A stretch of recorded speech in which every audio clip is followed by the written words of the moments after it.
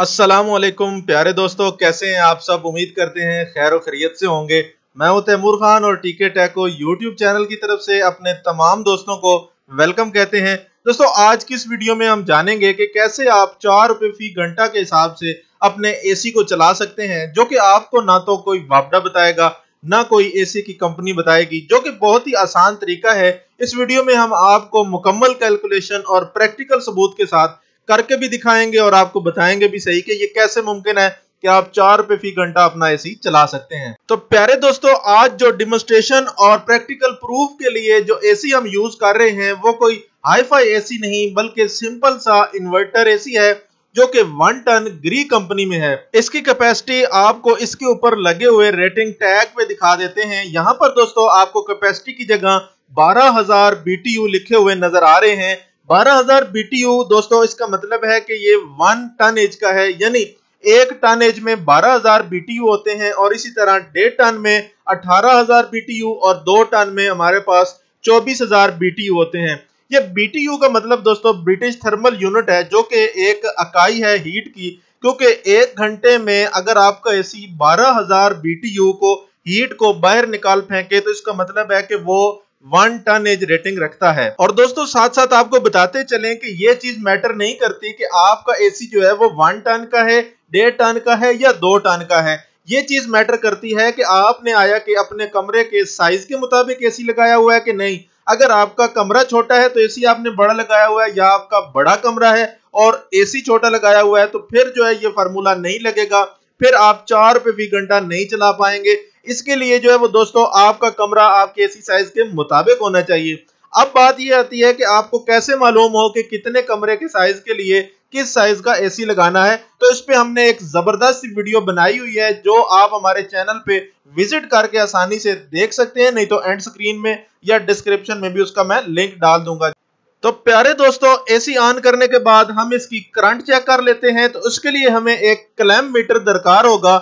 جس کو ہم اس کی ایک وائر پہ کلیمپ کر لیں گے اور کلیمپ کرنے کے بعد ہم اس کی امپیر کی رینج سلیکٹ کر لیں گے تو امپیر کی رینج سلیکٹ کریں گے دوستو تو ہمارے پاس یہاں پر اس میں جو ہے وہ استعمال ہونے والے امپیر شو ہو جائیں گے جو کہ یہاں پر میرے پاس 2.3 امپیر ہیں کیونکہ دوستو آپ کو ایک خاص بات بتاتے چلیں کہ جو انورٹر اے سی ہیں ان کی سٹارٹنگ کرنٹ جو روایتی اے سی ہیں ان کی نسبت بہت زیادہ نہیں ہوتی بلکہ یہ جو ہے وہ شروع سے کم کرنٹ لیتے ہیں اور ایستا ایستا ان کی بڑھتی جاتی ہے اور تھوڑے ہی لمحے بعد یہ اپنی واپس رننگ کرنٹ پر آ جاتے ہیں۔ موزز ناظرین، اگر آپ ان چند چھوٹی چھوٹی باتوں کا خیال رکھتے ہیں تو آپ ہر انورٹر اے سی کو چار روپے فی گھنٹہ کے حساب سے چلا سکتے ہیں۔ سب سے پہلی بات یہ ہے کہ اگر آپ کے کمرے میں روشنی یا دھوپ پڑ رہی ہے تو اس کے لیے آپ ڈارک کلر کا پردہ سامنے لگا دیں۔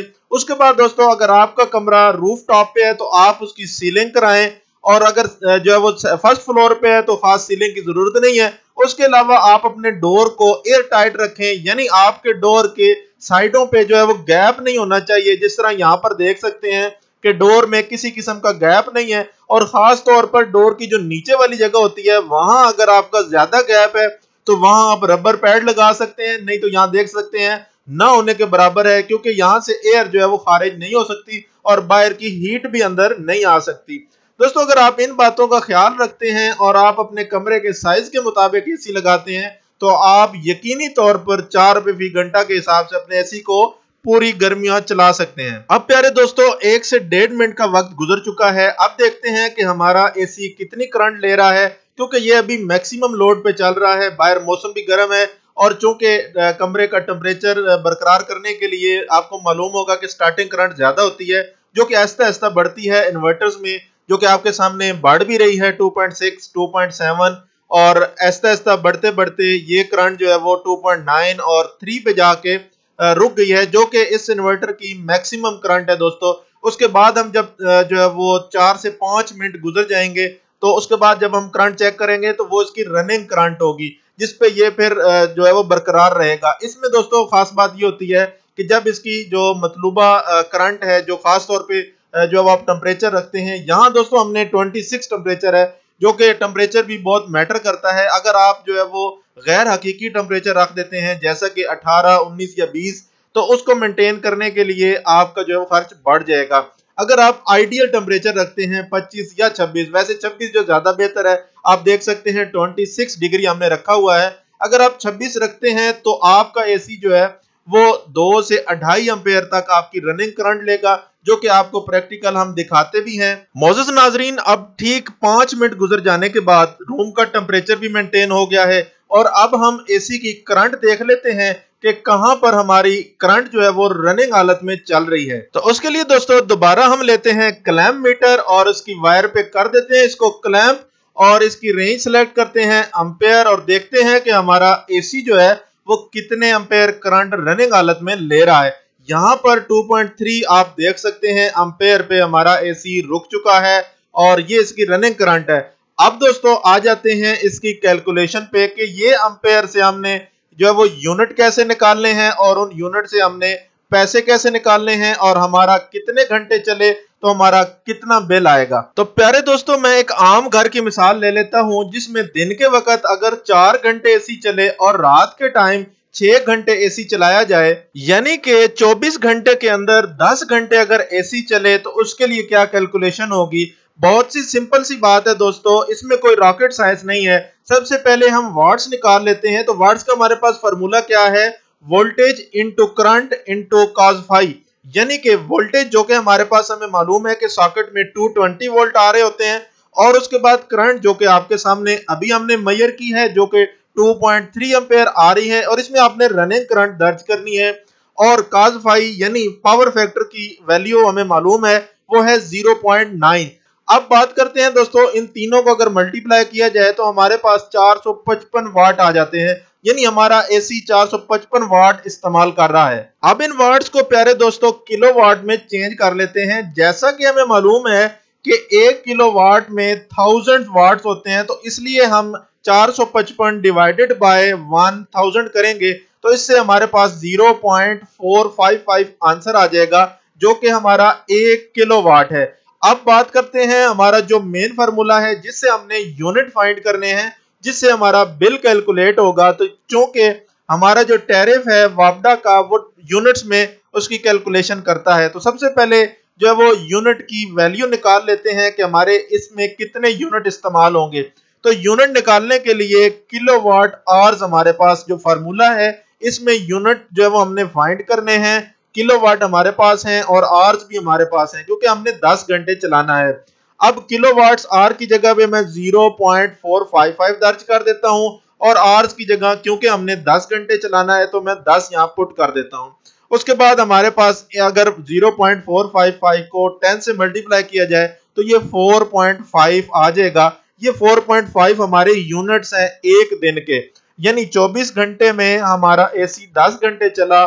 جس نے چار اشاریہ پانچ یونٹ استعمال کیے۔ تو پیارے دوستو، ان یونٹ سے اب بل کیلکولیٹ کر لیتے ہیں۔ چونکہ ہم آئس کو یعنی Islamabad electric supply company کی الیکٹریسٹی یوز کر رہے ہیں، تو ان کے ٹیرف کے مطابق ہم جو ہے وہ بل کیلکولیٹ کریں گے۔ اگر آپ اپنے علاقے کی جو آپ کی الیکٹرک سپلائی کمپنی ہے، آپ اس کا ٹیرف دیکھیں گے، اس کے مطابق آپ کیلکولیٹ کریں گے۔ ہم چونکہ اسلام آباد الیکٹرک سپلائی یوز کر رہے ہیں، اس لیے ہم ان کا ٹیرف دیکھتے ہیں۔ تو ان کے ٹیرف کے مطابق تین سو یونٹ تک اگر آپ بجلی یوز کرتے ہیں، تو آپ کو پر یونٹ دس اشاریہ دو روپے کاسٹ کیا جائے گا۔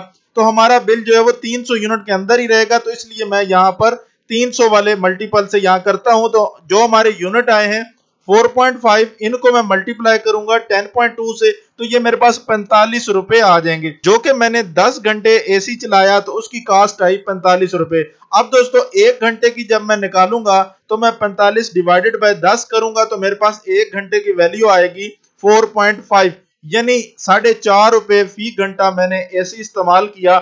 اگر اس کو راؤنڈ اباؤٹ میں دیکھا جائے تو چار پہ جو ہے وہ ایک گھنٹے کی کاسٹ آتی ہے۔ دوستو، یہ نارمل آپ کا انورٹر اے سی اس کاسٹ کے ساتھ چلتا ہے۔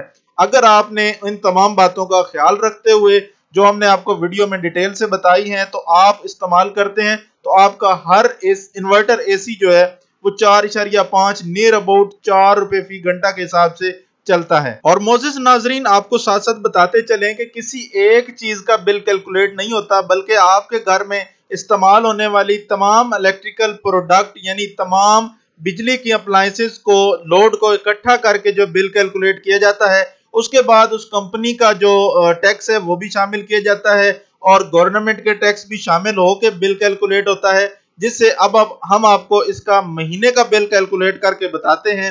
یعنی دوستو، اگر آپ کا ایک دن جو ہے وہ دس گھنٹے اسی چلے تو پنتالیس روپے آپ کے جو ہے وہ استعمال ہوتے ہیں۔ تو اس طرح تیس دن میں آپ کا تیرہ سو پچاس روپے بنے گا۔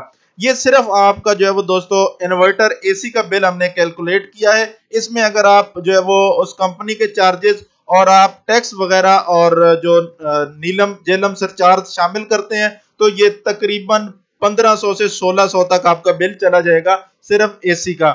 اگر آپ باقی چیزوں کا بھی جو ہے وہ کرتے ہیں، تو آپ کے گھر کا بل آپ اسی طرح کیلکولیٹ کر سکتے ہیں۔ آپ سمپل کلیم میٹر سے اس کی کرنٹ چیک کریں اور اسی فرمولے کے مطابق اس کی آپ یونٹ نکال لیں۔